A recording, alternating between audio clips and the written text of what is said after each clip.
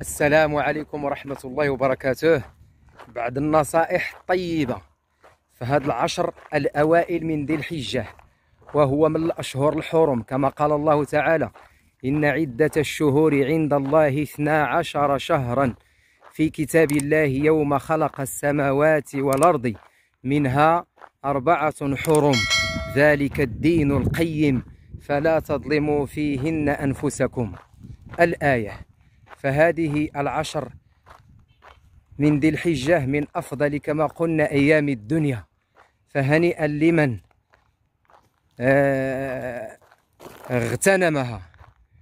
هنيئا له ثم هنيئا. من صدقة ومن صلاة في وقتها ومن قيام ومن صيام. وكل من يقول أن صيام عشرة أيام من ذي الحجة كلها لا بد منها فإن كان له هذا المعتقد فصيامه غير صحيح لأنها من البدع.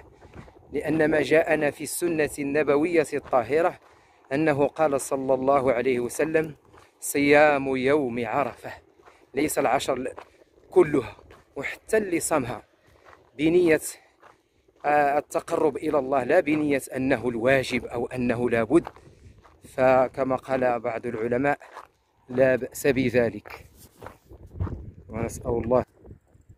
فرسولنا محمد صلى الله عليه وسلم يقول صيام يوم عرفة يكفر ذنوب سنتين سنة ماضية وسنة مقبلة إن شاء الله.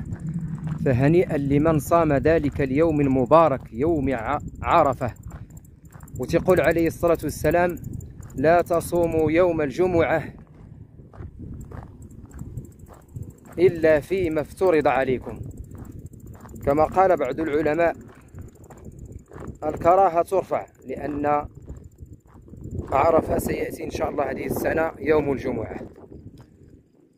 فترفع الكراهة ويصوم المسلم يوم الجمعة منفردا لأن يوم عرفة جاء في يوم الجمعة فيجوز صيام يوم عرفة إن جاء في يوم الجمعة مع أن الحديث منهي عنه. صيام يوم الجمعة منفردا إما أن تصوم قبله بيوم أو بعده يوم إلا فيما افترض عليكم. وهذه السنن والفرائض هي من سنن الله جل وعلا ورحمة منه سبحانه وتعالى.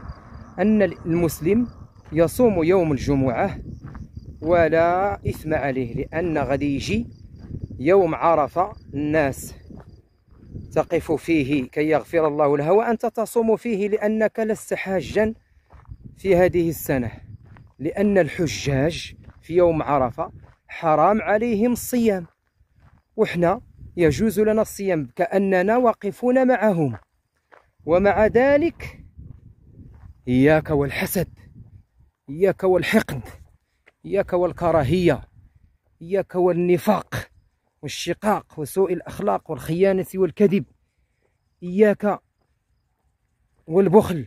لابد أن تتصدق وتحسن إلى الناس. ماشي أنك تقرب الله عز وجل وتصوم وتقوم وتقرب بعدة سنن وفرائد في هذه العشر. المباركة الطيبة. وتنسى إخوانك المسلمين خاصة في هذه الأزمة الاقتصادية والمادية والاجتماعية. تنساهم من مالك وإحسانك. فلا بد أن نحسن إلى بعضنا البعض حتى يغفر الله لنا ويرحمنا ويتفضل علينا. فنسأل الله عز وجل أن يتقبل منا ما سنقوم به بمشيئته. سبحانه في هذه العشر الأوائل من ذي الحجة. فلا تنسوا الإحسان وطيبة آه، اللسان والأخلاق. إنه سبحانه وتعالى المنان الحنان. فنسأل الله القبول لنا ولكم. السلام عليكم ورحمة الله وبركاته.